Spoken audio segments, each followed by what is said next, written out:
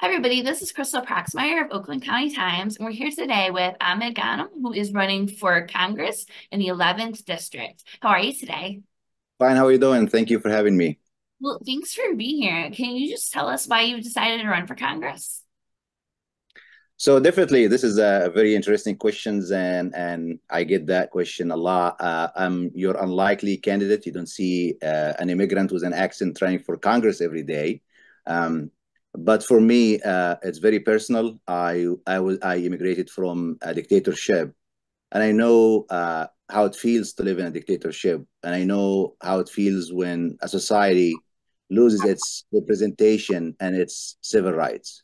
And the reason I'm running for Congress here is to restore representation, because representation is the foundation of democracy. If you live, if you lose your representation, you lose your democracy, basically. And what I see with the amount of dark money and the PACs that pour money into our elections, it's basically hijacking our representation and hijacking our democracy. And this is why I decided to run. And I decided to run a grassroots campaign that does not depend on PAC money or dark money. It depends on regular people like me and you. And I, I feel it's my duty as an immigrant that this country has given me everything in my life, given me the career, given me the family, and most importantly, given me the freedom. For me, the American dream is not about wealth. It's about living in peace, living in freedom, living in dignity, and living in democracy, something I was deprived from where I was where, where I was born. So this is why I have to give back to this country by trying to restore representation and make sure that we elect people that represent the people, not represent the dark money or the PAC monies. So, can you tell us a bit about your professional experience and the skills you bring to the table? So, uh, I'm I'm a physician by train uh, training. I'm a physician by training. I graduated medical school, and I work since then. I work in uh, healthcare administration. I decided to work in healthcare administration to understand the system, understand the healthcare system that we have, and how complicated and how uh, unsustainable that we have the healthcare system that we have. And this is why I gained all the years of experience working in healthcare, working in different systems, uh, big systems, university systems, community-based systems, healthcare systems. And uh, through all this work experience, I gained profound experience in, in understanding the foundation of our healthcare. And with this, this is one of the things that pushed me to run to, to reform our healthcare because our healthcare is unsustainable and we need to work on that. That's uh, my professional background. And also on my background as an activism, I co-founded uh, Metro Detroit Political Action Network. It's a grassroots organization here in Detroit metro area where we have people from all walks of life working together to uh, sustain our democracy and help each others and uh, voice our concerns as as just as citizens of Detroit metro uh, Detroit metro area and citizens of Michigan's and citizens of the United States. So you kind of answered this a little bit, but what are some of the ways that you've been involved in the community? Uh, I work in healthcare, which means I work with the community every day. You meet people every day, and when you work in healthcare, you meet people at their vulnerable moments when they really need help and when they really uh, life is pushing them to the side and under a lot of stress, under a lot of stress of health stress, financial stress. And I deal with that every day as a healthcare professional. And also from my background in activism, I deal with all the challenges that's facing our nation right now. And whether it's organizing a protest or whether it's organizing a mutual aid uh, uh, event or working with the community or every single day there's something in this in this community that deserve working for and um, and again it's it's it also come from my background as when uh, people uh, i tell people that you know all my friends that maybe you are born in america you are an american by born. I am an american by choice.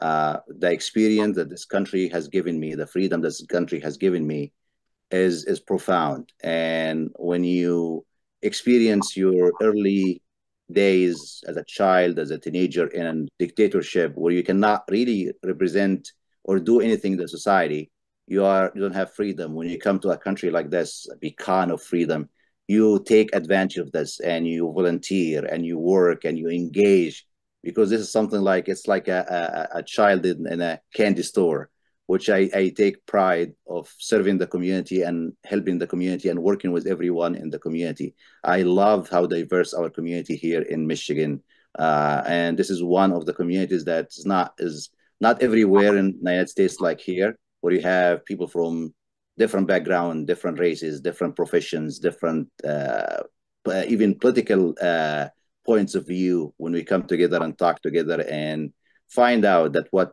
connects us as a community is way, way beyond what our differences. And this is why I'm running to get people together and restore hope in our democracy because a lot of people lost hope in our democracy.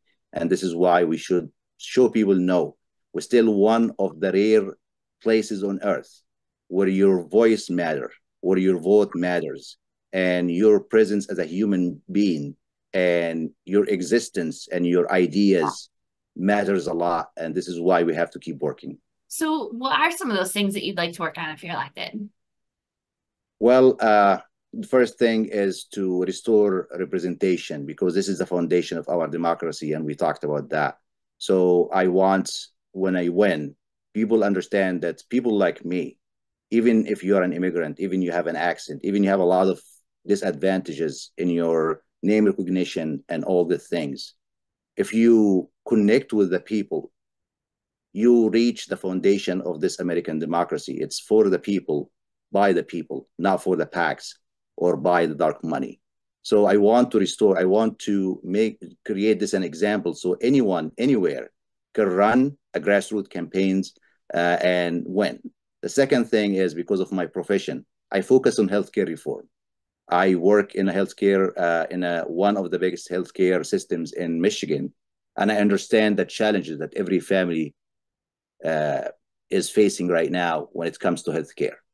I, I, I, I, this is one of the rare or only countries on earth when you go to bankruptcy because of you have, you know, uh, a disease. That should not happen on the richest country on earth. Uh, access to healthcare is now is inaccessible and out and affordable even if you have insurance. In some big systems in Michigan, you have to wait for a year to see a specialist, and this is not right. And also, in 10 years from now, we have huge shortage. One, Michigan is one of the 10 the top 10 states in the country where we have shortage in nurses, we have shortage in physicians, so five years from now, we will be facing a severe shortage of nurses where our aging population in Michigan will not have enough nurses to take care of them. We should create programs, state and federal programs, to tackle these problems and put uh, uh, solutions for this because it's not far. This is only five years from now. We have to find uh, a solution to find nurses in five years the retiring physicians that we keep retiring, why they are retiring, how to keep them in service for long. I have a lot of plans for that, and also how to create more programs to create more physicians here in Michigan and nationwide. This is healthcare reform that we need. We need to make it accessible for everyone, affordable for everyone. Second thing is inflation and how to tackle this inflation that's affecting every single family in the United States, rich or poor. And one of the main things that we tackle inflation is the main things that people deal with how to lower the cost of uh, drugs, how to lower the cost of healthcare, also how to lower the cost of uh, all every everyday essentials like gas and groceries, and work on this inflation. Also, I want to make sure that we uh, secure the future of our generation, next generation. If, if you work in any industry right now, uh, artificial intelligence is causing uh, a challenge to what's happening to our you know our next generation our kids and the kids of our kids. 20 years ago if you go to medical school and become a doctor you're all set for life. If you go to law school you're all set for life. This is changing right now because a lot of organizations a lot of hospitals they say maybe we don't need a lot of technicians. Maybe we can read the studies through ai maybe we can need to need an anesthesiologist. We need to do it through AI maybe so it's it's the whole market uh, job wise and economy wise it's changing. It should not be a bad thing. We cannot stop progress but we can put a plan how we can use this progress to help our young generation not to hurt them and not to find after 10 years from now that we have millions of people without jobs that needs help from the government we need to make sure that we are having a grand plan for the whole society and also plan for our state. Also, uh, climate change. And when people think about climate change, some people think this is something fancy or something away from me. But if we understand that Michigan is the second state in the nation and how diverse our uh, what we our products, our what we produce here in our farms in Michigan, we are the second stage right after California. So uh, protecting our environment and having laws to uh, uh, for and have regulations to regulate this to how to uh, uh, stop the climate change or even at least mitigate the results from the climate change that we are seeing. It's so important for us here as as a, as a state in Michigan, and it's so important for a nation because what we provide as a second diverse producers of uh, of of uh, of agriculture here in Michigan is so important for our nation. So this is climate change, if you look at it from the farmers and the farm perspective, perspective, it's actually a national security issue. So we have to deal with climate change as a national security, not just as a scientific issue that we debate about it or people have some opinions about. It. It's a national security that we have to, to work on right now. And also affordable housing. It's so important to understand the challenges that our young people are facing right now, whether they want to get their own first home or even to rent a house renting a house so expensive right now. And buying a home, good luck finding a home or buying a home or getting mortgage for that. And this is so important. This is issues for every single American. They care about these issues, and we, at the government, we have to care about this. And uh, uh, also how to invest in local economy, how to in, put incentives for young people to, if we see that the, the market jobs, the job market is shrinking because of AI, how to put incentives for young people to start their own business and how to help them, how to make places like Michigan and Detroit and Pontiac hub for industry and hub for startups, not just for the United States, but uh, for nationwide. A lot of nations right now around the globe, they provided hubs to to go there and to start their own business and they give you incentives and to help people and they started to we see it we see it in asia we see it in gulf area we see it in other areas and there is models there but we are lacking here is the political will to implement these uh, programs and help our young people. So, in this race, there is some competition both in the primary as well as in November. Why should the voters pick you? I think uh, the voters will pick me because I'm not a career politician. I think people got tired of career politicians and got tired of uh, hearing the same things over and over again without any change. The current Congress approval rate is 15%. And I ask everyone who's watching us now, those, this Congress actually controls your money and your taxes. Would you go to an accountant to do your taxes if you know that this accountant has only 15% approval rate on Google? You wouldn't. And this Congress right now has 15% approval rate. And for a reason. And the reason is this Congress does not represent the people. We need a Congress that really represents the people because the influence of dark money, the influence of PACs, the influence of corporations became a threat to our democracy. And I'm running, and I think people will pick me up and will choose me and will vote for me, even if I don't have the name recognition. But they will understand that I'm not a politician. I'm an outsider. I'm an immigrant.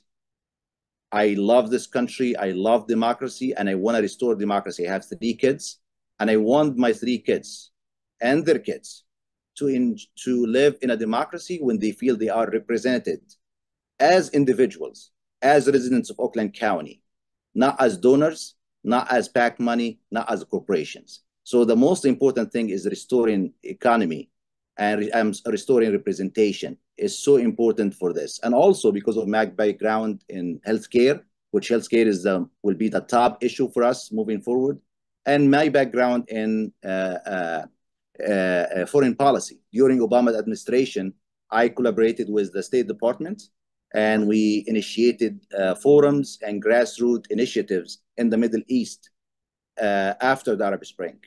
So I have this experience, foreign experience, to make sure that our foreign policy is aligned with our national interest as a country and as individuals living in this country. So if the voters want more information about you and your campaign, where can they go? They can go, if you can see my background, it states my website is agforcongress.com. Uh, it's very easy, agforcongress.com. That's my uh, website. They can also, for AG for Congress on all social media platform, Facebook, uh, X, uh, uh, Instagram, Twitter, they will find us. Just Google uh, AG for Congress and you will find us and you can connect with us through uh, our social media platform, our website. I'm very responsive to people uh, uh, sending me emails. If you send me an email through our website, I will reply within 24 hours or one of my staff will reply within 24 hours because we believe that we are running for the people and by the people. So we cannot ignore anyone that's reaching out to us. Our campaign is a grassroots campaign. And all, all like 99% of people in my campaign are volunteers they are not paid. We have practicing physicians, we have professors, we have engineers, we have students, we have people from all walks of life working with us on this campaign. And I invite everyone here to volunteer. Go to our website, volunteer with us, make a phone call, enjoy the fruits of democracy because people in other countries they couldn't go to, they don't get to vote, they don't go to engage in a political campaign or uh, make uh, do phone banking or go door knocking this is this is amazing. This is what all this American experience is about: the democracy that everyone can go out and can tell people here what I'm looking for, here what I'm running. This is my platform, and I want you to support me. And people support them and make a change. And this has been happening since the foundation of this country till now. And we want this to happen for 200 and 300 and 400 years from now, because as a global citizen myself that sees things that you know have this experience as an American citizen and has experience as someone lived overseas. United States is one of the rare places on earth right now when we have democracy, and this is blessing for for us. And we have to to keep it. We have to maintain it, and it's not going to be maintained unless every single citizen engage in this process. I know that some people are frustrated I am frustrated, and this is why I'm running. But this turn this frustration into an energy, turn this frustration into door knocking, turn this frustration into phone calling, and turn this frustration into volunteering in campaigns for issues that you care about. This is how we make a change. The slogan of our campaign is "We are the answer," because this is exactly what I believe. Nobody will help us. We will help us. We are the answers. Perfect. Well, thank you for taking the time to talk with us today. Thank you so much for what you're doing. I love what you're doing. What you're doing is a great thing, a great service for democracy, you informing uh, uh, voters of who to vote for and why to vote for without influence anything. You just put the facts there and leave it for the people to research. And this is really great for our democracy. So I really, as a citizen of Oakland County, I thank you so much for what you're doing.